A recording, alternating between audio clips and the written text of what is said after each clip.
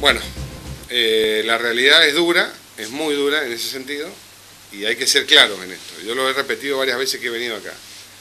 Nosotros hemos, hemos disentido con el gobierno nacional en algunas aplicaciones, pero sí que no se podía regalar energía. Todo lo que es barato después sale caro, porque después eran ellos los que no tenían insumos en los hospitales. O este hospital no tenía la infraestructura necesaria después de 20, 30 años. Entonces, cuando te regalan algo, te lo quitan por otro lado. Y generalmente les pega a los que menos tienen.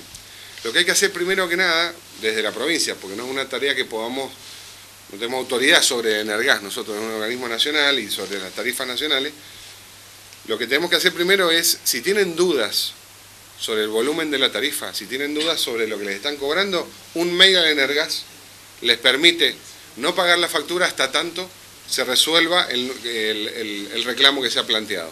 Porque en algunos casos hemos detectado algunos errores en la liquidación. Unos no, unos cuantos.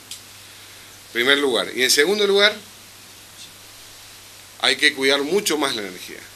Hay que cuidar mucho más la energía. No podemos tener 10 aire acondicionado, no podemos tener eh, eh, prendido todo el día. La hay que cuidarnos como yo la cuidaba, en realidad me la cuidaba mi papá eh, hace 20, 30 años atrás. Hay que cuidar porque cuesta mucho conseguirla.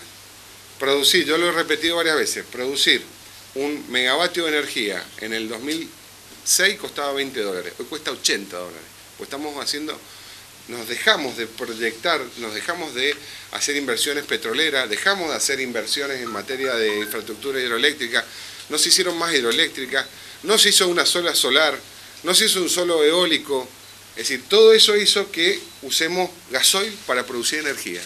Imagínense ir a la, estación de servicio, comprar la nafta para poder producir energía todos los, los sanrafaelinos.